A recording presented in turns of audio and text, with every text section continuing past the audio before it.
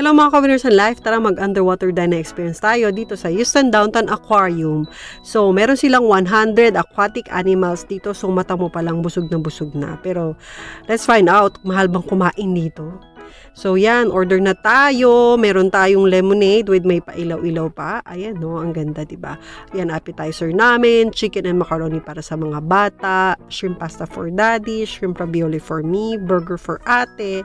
Actually, second na namin dito, pero matagal ng panahon. 8 years ago na. So, alam ko, maraming makakarelate ng OFW families dito. Pag nasa ibang bansa ka, hindi ka rin lagi makapunta sa pasyalan. Kasi syempre, nagtitipid ka din, di ba? O, ayan. Time for dessert. Meron kami ditong brownie with ice cream, mixed berry cheesecake, at yun itong anak ko.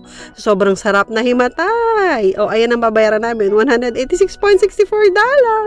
Kayo nang bahala mag-judge kung mahal ba yan o hindi. Importante, masaya yung anak namin at meron silang memorable experience. Yun lang.